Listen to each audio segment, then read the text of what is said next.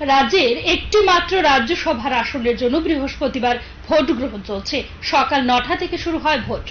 বিকেল চারটে পর্যন্ত ভোট গ্রহণের সময় নির্ধারিত। এরপর বিকেল পাঁচটায় শুরু হবে গণনা। ফলাফল সম্পর্কে সম্মুখ ধারণা আগে থেকে জানা থাকলেও প্রশাসনিকভাবে ছটার আগে ঘোষণা হয়ে যাবে ত্রিপুরার একটি মাত্র রাজ্যসভার আসনে কে প্রতিনিধিত্ব করছেন। ঘোষণা করবেন রিটার্নিং অফিসার এসমগ মোট ষাট জন সদস্য বিশিষ্ট।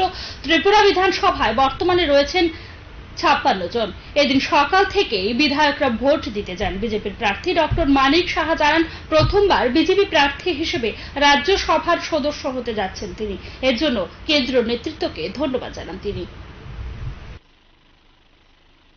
আমি অত্যন্ত আনন্দিত যে ভারতীয় জনতা পার্টি প্রথমবার রাজ্যসভার কোনো সদস্য হতে যাচ্ছে। ভারতীয় জনতা পার্টি প্রথমবার রাজ্যসভার সদস্য হতে যাচ্ছে এবং সেটা একটা ইতিহাস হচ্ছে। এবং সাধারণ মানুষের জন্য কাজ করার একটা সুযোগ এসছে। এটি হলো যে ছয় বছর পর পর রাজ্যসভার জন্য আমাদের ত্রিপুরা থেকে একটি আসনেই ভোট হয় এবার সেটা হচ্ছে। পার্টির তরফ থেকে আমাদের প্রার্থী করা হয়েছে। আমাদের পনেরো জন এমএলএ আছে, এই ভোট আমাদের নিশ্চিত।